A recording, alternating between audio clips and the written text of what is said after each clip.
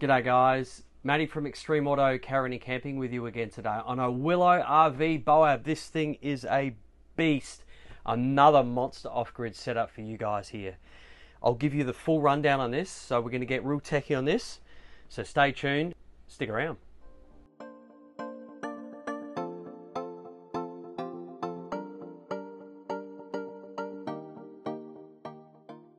Okay, let's get stuck into it. What we've got here as you can see, if it's not a giveaway, I've got a lot of solar on this. We've gone for three solar controllers. Now the reason for the three solar controllers on this big off-grid setup, guys, is to cover not only the massive amount of solar we've got on the roof of this Willow, um, but to split the arrays on the roof so they run independently to yield more power over the day. If there's any shading issues on the left or the right or even the front, the others will continue to work. And they're all networked together, so essentially they're, they're working as one unit, but they're separate. Think of it like a tracking system for each array. Um, that's what they do. So, big numbers. Straight into the solar, okay? So it's, it's wicked. The rear solar is a 400 watt array consisting of two 200 watt Exotronic panels. So that's the rear 400 watt array. On the right hand side, we've done two 160 watt panels. Okay, so there's another 320 watt array there. And then on the left hand side with the cheeky dog leg, there's another 600 watts, guys. So that's another 600 watt array there on the larger 150 Victron Smart Solar Controller.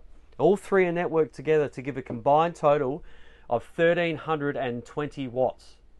Huge. This runs the Truma Aventa air conditioning, which is very efficient, you know, between 750-ish, 800 odd watts. This has more than enough energy to keep up with this during the day and charge as well. So that means you are charging your battery and running the air conditioner. It's a no-brainer. Victron Multi Plus 12 3120 amp inverter charger running all of the factory outlets. This is a seamless integration for the Willow. This actually came pre-wired um, from factory for this inverter, which made the job seamless and it just integrates much easier. So kudos to uh, the guys out at Willow for doing that. Happy days. So Victron Multi Plus 12 3120 amp inverter charger. So, you know, microwave, air conditioner, hair dryers, the washing machine, which is wall mounted on this one. Old mate wants to induction cook outside, run the toaster, coffee machine, whatever. You know, you might have medical equipment. Uh, this setup allows you to run a lot of devices anywhere, anytime, all at the touch of a button. Very easy. 560 amp hours of PowerPaul Scout. So these are the custom made lithium batteries from over in uh, Victoria from Paul. Thanks, mate. These have that continual discharge of 250 amps per battery. So one battery can support the full load of this inverter should one battery fail or, or if he pulls a battery out, whatever the reasons, it's a redundancy thing. So both these batteries can support this inverter quite easily um, from 0 to percent to 100% all day, every day at this at full song. So very cool there. As you can see, we've done the Redarc BCDC 1250, my go-to 50 amp DC charger for vehicle replenishment. So that means it'll pump in 750 watts, 50 odd amps from the vehicle when the engine's running, and the solar will come in through the solar controllers as well if the batteries require it. So if this setup is at 50% and they, you know, they've been free camping, they've smashed 280 amp hours out of the system overnight, which is 50%. So they wake up and they're about to drive, I don't know, four hours up the road. If they left at say nine in the morning, you know the sun's probably going to be up. The solar is always working. That's going to be bringing energy in. The second he starts his vehicle, another 50 amps or 750 watts will come in on top of that. It will not shut one off. They will both work when you are driving at the it's it's just a no-brainer for me. I mean, when you're free camping, you want to yield as much energy as you can from whatever sources are available. And when we're free camping, we're not having a generator running at the same time. So that rules out mains coming in. You've got the sun up and you've got an engine running. So there's an alternator spinning. Bring the en- uh, bring the energy in, bring the energy in, combine, not one or the other. This setup allows you to do that at stupid, stupid speeds, guys. So if 750, let's talk in watts, right? Just to because there's 13, 20 watts on the roof. Let's say I don't know, a thousand was coming in from the roof because of whatever reasons, efficiencies, or if it was wasn't in the peak of the day, all right, 10 o'clock or something. So let's say thousand's coming in from the sun. The second he runs that engine, another 750 is going to come in on top of that. So that's 1750 watts to charge this, you know, almost seven kilowatt hour battery bank. That's pretty fast charging, guys. So these, in no time, in two hours, you've put three kilowatt hours in. You know, in three hours, you put 4.5 in and some. Like, you can work it out if you want to, but you don't have to because we've got the Cerbo GX with the Touch 50. So that's the touchscreen that shows you everything that's going on with all of this under here. You never need to lift this up to get to any of this. This is all set and forget and fully remote controlled up on the touchscreen. So let's get into that, guys. So your main screen that's up here, and you know we've mounted this at eye level, which is really good. And the reason we put it here and not in here, now I, I could have put it here, and I asked the customer, said, where would you like it?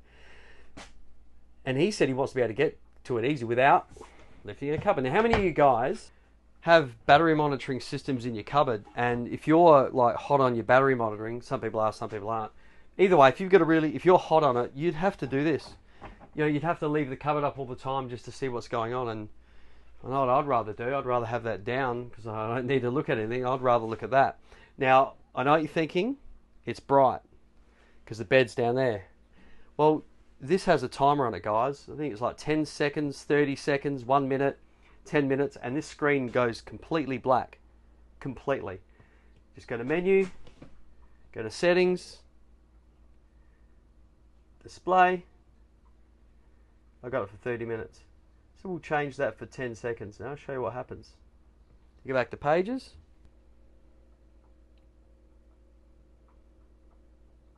There it is. a lovely mirror. but look at that. It, it's beautiful. You, you wouldn't even know it's on. And simply to wake it up, right, it's very simple. Just touch it. Now that timer is all there. Very easy to see. Now, main screen. Okay, so Shore Power's here. So when you plug into mains power, you're going to see energy come in and go into the battery if required. As you can see, we are full, which is why we're not seeing much solar at the moment. Let me just change that setting back. It's good that you guys can actually see this because it's not hard to do. You know, 10 seconds and I'll just go like 30 minutes. It's usually enough time to do things. Back to page. If you ever get stuck, hit pages. It'll always take you home. So within the home screen, you've got three. One, two, and three. That's your control page. So inverter only, off, on, charger only. So inverter only is for when you're free camping. It will ignore any AC coming in off is off, even if you had AC plugged in, nothing would happen. On is auto mode. On is what you use if you're free camping and you're going to run a generator or um, you know you want to run a 10 amp power inlet into it and you want it to flick over automatically should the power go out. So on's automatic. And charger only, basically the van is back to factory form. You have to put power in, AC in, for your van's um, you know air conditioner, all that to work. And when you lose power, it, it just turns off. Charger only activates as like a exactly what it was in factory form. The AC current limit, guys, you've seen my other videos, not going to get into that again, but you can control your uh, generator's input to not clip it off from there, and then we'll get into this. So, battery state of charge, that's what is happening right now. We are full, we are probably in absorb, which we are, and there's the solar. Now, if I were to put on the inverter, so we'll go to, whoop, we'll go inverter only, you'll hear the beeping again. I'll flip you around, and we'll go put the AC on. Now it's cold here, you wouldn't believe it. In the middle of summer, and we've got a storm coming. There's only 16, 17 degrees here in Adelaide. It's crazy. So we'll go, I'll crank this right up, you can see it. Go like 20, 20 26, alright? So I've got the AC on 26, that'll kick in in a second. It should, I might go more, bugger it. Go like 28, 30. We'll go 30. We'll get this cutting in because the sun's the sun is coming out. It's very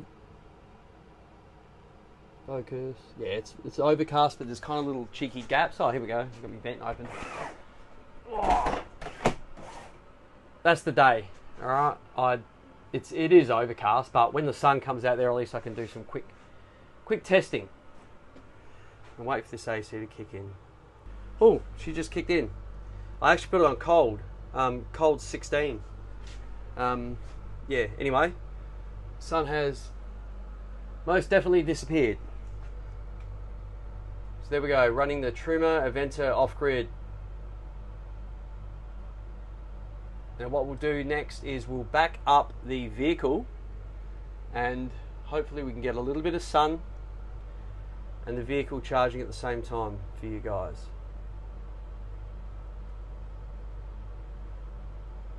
We'll get right to back up the car and we'll have a look at this. Try and keep the air conditioning going on 16. Cold. What is it? Yeah. Yeah, there we go. 16, 16 cold. She's got a little blue light up there. All right, cool. And yeah, you can see it's running. But take what take note what she draws. 720 watts. So yeah, they are efficient. Right, sun just popped out for a second then. Like the gaps are so tiny, guys. It's just it's a horrible day for solar. Nonetheless, we'll get into it. Get this vehicle going for you. So you'll see the, there we go. So that's the engine running now. Alright, and we'll go up to the screen and we'll see that 50 come in.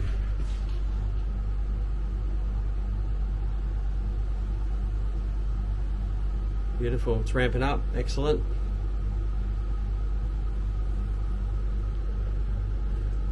Yep, it's getting less and less, this is good. Down to 17 almost. Good job. There we go, that's the Redarc 50 guys. Take note of it, still dropping. Solar's backed off slightly. Beautiful. It says that 50 amp DC charger. Alright mate, you can shut that down now. Now Riley's going to go turn the vehicle engine off. And then obviously 50 will be added to that number there. So it'll be minus. Right, there we go. And be Riley it down. There we go. Very cool. it's good to be able to get the combined solar and vehicle charging at the same time. Obviously, if we had more sun, it would be quite an improvement. I'm running the air conditioner, guys. Don't forget that. There you have it, guys. Complete off-grid setup for your Willow. Like and subscribe, guys. I do these videos as mainly a rundown for the customer so they can reference it um, whenever they like. Um, and obviously it gives information on what systems we do and what it's going to look like if you decide to get one for your van. So there we go. Enjoy that off-grid setup. Thanks guys for watching. The sun's disappearing again. Oh no, 125 a second ago. Thank you, Riley. You're the weatherman now. Good work. So there's a combined solar and vehicle charging here. Look at that, here we go.